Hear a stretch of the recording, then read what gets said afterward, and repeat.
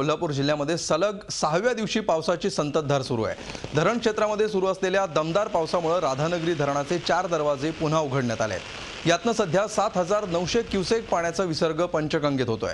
त्यामुळे पंचगंगा नदीच्या पाणी पातळीत झपाट्यानं वाढ होती आहे पंचगंगा नदीनं इशारा पातळी ओलांडली आहे.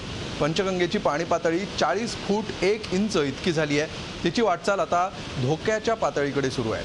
त्यामुळे जिल्ह्यामध्ये महापुराची शक्यता पुन्हा एकदा निर्माण झाली आहे. या सर्व पार्श्वभूमीवर नदीकाठच्या गावांना सतर्क राहण्याचे आदेश जिल्हा प्रशासनानं दिले. खबरदारीचा उपाय म्हणून कोल्हापूरहून रत्नागिरीकडे जाणाऱ्या मार्गावरील शिवाजी पूल वाहतुकीसाठी बंद करण्यात आला आहे ही वाहतूक आता पर्यायी मार्गाने सुरू आहे. झी चोवीस तास रहा एक पाऊल पुढे.